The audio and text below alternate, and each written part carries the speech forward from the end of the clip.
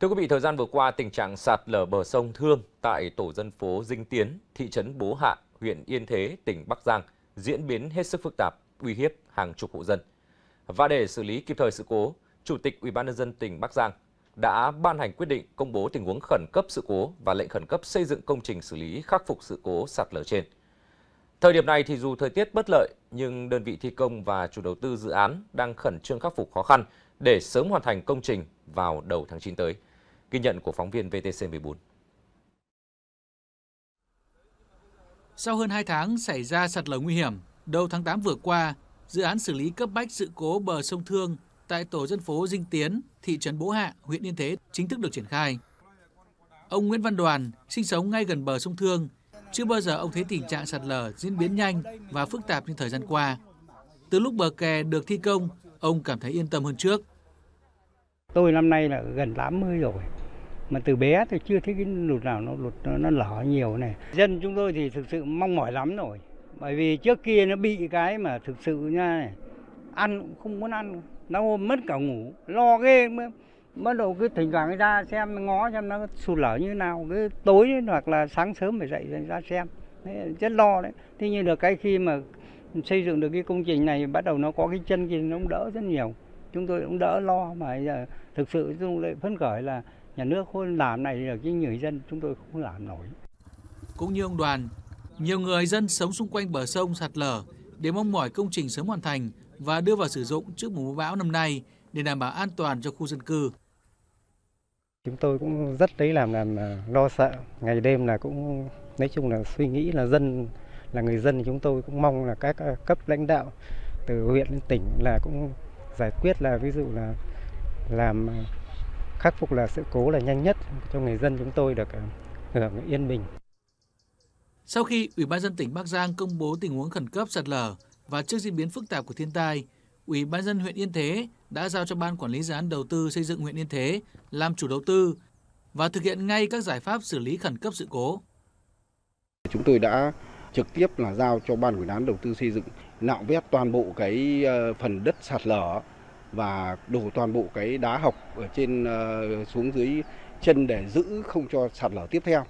Và đến thời điểm này thì ờ, cái triển khai này cũng đạt được khoảng gần 50% cái khối lượng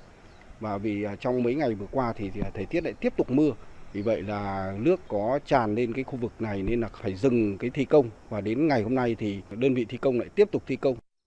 Khu vực sạt lở hiện có 15 hộ dân với khoảng 70 nhân khẩu thường xuyên sinh sống. Dù gặp bất lợi về tình hình thời tiết, mưa lớn kéo dài, nhưng chủ đầu tư dự án đã tập trung mọi nguồn lực khắc phục khó khăn để sớm hoàn thành công trình vào đầu tháng 9 tới để bảo vệ cái tài sản cho nhân dân cũng như là tính mạng của các cái hộ dân ờ, xung quanh ờ, khu vực xảy ra sạt lở thì chủ tư đã lựa chọn rất là nhanh kịp thời nhà thầu thiết kế nhà thầu thi công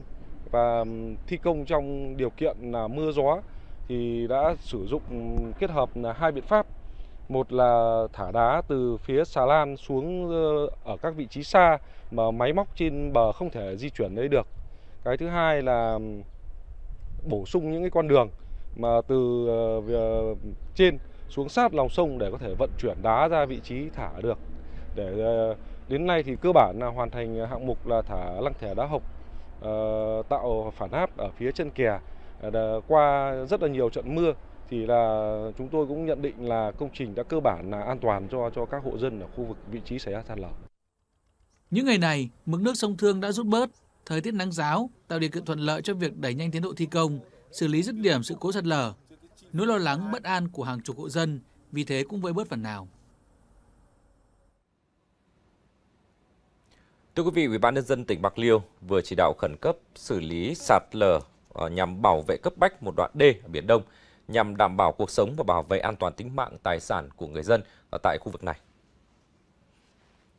Theo đó, thì lệnh xây dựng công trình khẩn cấp để xử lý sạt lở đê biển Đông đoạn km 0 cộng ờ, 46 đến cầu ờ, Chiên Túc 1. Đây là đoạn đê biển thuộc địa bàn của xã Vĩnh Trạch Đông, thành phố Bạc Liêu, đoạn giáp danh với tỉnh Sóc Trăng vừa bị sạt lở nghiêm trọng vừa qua. Và mục đích của quyết định này để bảo vệ cấp bách đoạn đê biển bị sạt lở nhằm đảm bảo ổn định cuộc sống, tình hình sản xuất, an toàn tính mạng và tài sản của người dân bên trong đoạn đê. Theo quyết định thì Ban Quản lý Dự án Đầu tư xây dựng các công trình nông nghiệp và phát triển nông thôn tỉnh Bạc Liêu được giao quản lý thực hiện xây dựng công trình trong thời gian 4 tháng với kinh phí khoảng 1,5 tỷ đồng. Cơ quan này huy động ngay các đơn vị có đủ điều kiện năng lực về hoạt động xây dựng để thực hiện thi công công trình này. Trước đó thì các đợt chiều cường kết hợp với sóng mạnh đã làm sạt lở tại khu vực đoạn đê Biển Đông, đoạn qua ấp Biển Đông A, xã Vĩnh Trạch Đông với tổng chiều dài khoảng 100 m và có nguy cơ sạt lở là hơn 370 m. Thưa quý vị, dự án quản lý nguồn nước và ngập lụt Vĩnh Phúc với tổng vốn đầu tư tạm tính cho dự án khoảng gần 5.000 tỷ đồng, tương đương với 220 triệu đô la Mỹ. Dự án được kỳ vọng hướng đến hiệu ích nâng cao chất lượng sống của người dân, bảo vệ hạ tầng kỹ thuật, tăng hệ số sử dụng đất nông nghiệp và làm gia tăng giá trị sản xuất nông nghiệp, góp phần cải thiện môi trường và thu hút các nhà đầu tư đến với Vĩnh Phúc. Tuy nhiên, mặc dù mới hoàn thành và đang trong quá trình vận hành thử nghiệm, thế nhưng chỉ trong vòng thời gian ngắn, nhiều vị trí bờ kè thuộc siêu dự án chống ngập lụt của Vĩnh Phúc đã bị sạt lở, nứt gãy do mưa lớn. Sau đây là phản ánh của phóng viên VTC 14. Đây là khu vực bờ kè của kênh dẫn thủy lợi cách trạm bơm tiêu Nguyệt Đức, Yên Phương, huyện Yên Lạc khoảng hơn 1 km, thuộc dự án quản lý nguồn nước và ngập lụt tỉnh Vĩnh Phúc. Tại đây, công nhân đang thi công, gia cố lại những phần bờ kè đã bị sạt lở từ trận mưa trước.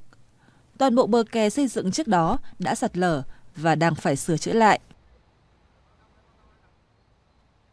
Ờ, thì à, công trình làm à, xong rồi như thế nhưng mà à, kiểu nước ở trên kia xả xuống cũng bình thường thôi nhưng mà cũng thấy nó sạt sạt xuống đấy, đấy. có hôm mà xả mạnh hơn thì thấy nó còn sạt nhiều hơn đấy anh em ra xem còn ra xem Đi qua đây mà nó nguy hiểm nó như thế này mà nó mà sạt lở người ngã chết người làm? Còn tại một vị trí khác thuộc khu vực trạm bơm Ngũ Kiên, huyện Vĩnh Tường, một vài chỗ mái ta luy thuộc dự án đã có dấu hiệu sụt lún, đứt gãy. Nhiều vết nứt chạy dài đã xuất hiện tại đây. Theo Ban Quản lý Dự án ODA tỉnh Vĩnh Phúc, nguyên nhân dự án hư hỏng là do mưa lớn trong thời gian vừa qua. Hiện dự án đang trong quá trình chạy thử nghiệm và chưa bàn giao nghiệm thu. Trong cái mùa mưa bão từ ngày 19 tháng 7 đến ngày 5 tháng 8 thì với cái lưu lượng mưa rất lớn thì cộng với nước ờ, sông Hồng dâng sông Hồng và sông Phó Đáy dâng cao thì phải dẫn đến cái câu chuyện là một số các cái điểm sạt lở cục bộ. Thì ngay trong quá trình ờ, sau khi nhà thầu hoàn thành, thì ờ, nhà thầu cũng thường xuyên cử cán bộ ờ, kiểm tra kết hợp với chủ đầu tư và chúng tôi cũng đã phát hiện ra các cái điểm sạt lở đấy trong cái giai đoạn tập trung để tiêu nước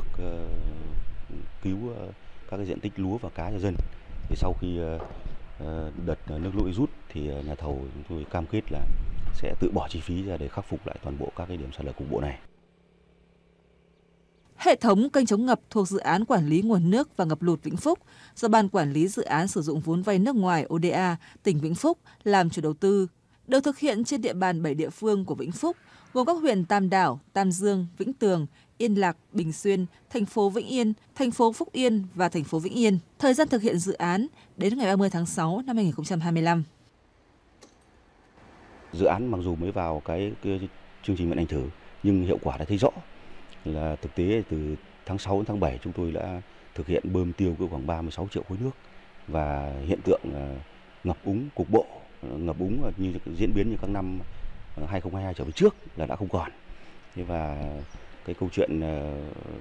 diễn biến thời tiết dẫn đến ngập lụt mà phải hỗ trợ là cho đến thời điểm này được đánh giá là cho đến hiện tại là cũng chưa xảy ra. Thế và công tác tiêu thoát nước của chúng tôi đánh giá là cơ bản đã đáp ứng được mục tiêu của dự án. Được kỳ vọng sau khi hoàn thành, đưa vào vận hành, dự án sẽ góp phần tăng cường khả năng chống lũ, chống ngập, giảm thiểu tác động của thiên tai, kiểm soát nguy cơ lũ lụt trên địa bàn tỉnh Vĩnh Phúc. Thế nhưng, dù mới trong quá trình vận hành thử nghiệm, đã có rất nhiều vị trí của tuyến kênh này bị hư hỏng. Điều này không những làm ảnh hưởng đến quá trình đi lại, làm việc của người dân, mà còn tiềm ẩn nguy cơ mất an toàn. Với những hư hỏng hiện tại, nhiều người không khỏi ngậm ngùi, xót xa và hoài nghi về chất lượng của công trình. Để chủ động ứng phó với mọi tình huống trong mùa mưa bão, tỉnh Thừa Thiên Huế vừa tổ chức diễn tập phòng chống lụt bão, tìm kiếm cứu nạn năm 2024. Tình huống giả định, cơn bão số 3 đổ bộ vào tỉnh Thừa Thiên Huế. trong đó đổ bộ trực tiếp vào địa bàn huyện Phú Vang với sức gió cấp 10, 11, giật trên cấp 12. Do ảnh hưởng của mưa bão đã làm cho nhiều khu vực trên địa bàn huyện bị ngập sâu, chia cắt. Đặc biệt mưa lũ đã gây sạt lở nghiêm trọng, làm cho người dân cũng như nhà cửa của khu vực ven sông bị nước lũ cuốn trôi. Mưa bão cũng làm cho hàng trăm ngôi nhà bị tốc mái, sập đổ, khiến nhiều người bị thương. Với các phương án chỉ đạo linh hoạt, sát thực tế, các lực lượng đã di rời sơ tán người, tài sản của nhân dân ra khỏi vùng nguy hiểm, đồng thời cứu nạn người và tài sản của nhân dân bị lũ cuốn trôi, cứu hộ cứu nạn sập đổ các công trình. Thông qua việc diễn tập đã có phần nâng cao năng lực lãnh đạo, chỉ đạo, điều hành của các lực lượng đơn vị trong công tác ứng phó với thiên tai, bão lũ, giảm thiểu tới mức thấp nhất những thiệt hại có thể xảy ra.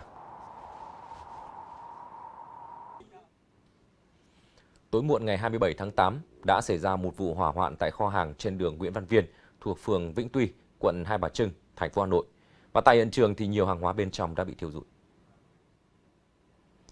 Khoảng 21 giờ, người dân phát hiện cháy tại kho hàng tại địa chỉ số 137, 139 đường Nguyễn Văn Viên.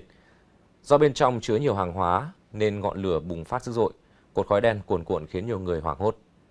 Nhận tin báo, lực lượng cảnh sát, phòng cháy chữa cháy và cứu nạn cứu hộ, công an quận Hai Bà Trưng, Hà Nội đã điều động xe chữa cháy cùng với hàng chục cán bộ chiến sĩ đến hiện trường dập lửa. Công an phường Vĩnh Tuy cũng đã huy động cán bộ chiến sĩ tới hỗ trợ đảm bảo an ninh trật tự. Đến gần 22 giờ cùng ngày, đám cháy được dập tắt hoàn toàn. Đoạn đường Nguyễn Văn Viên hướng từ đê Nguyễn Khoái đi Minh Khai cũng bị phong tỏa để phục vụ công tác chữa cháy. Hiện nguyên nhân của vụ hỏa hoạn đang được tiếp tục điều tra làm rõ.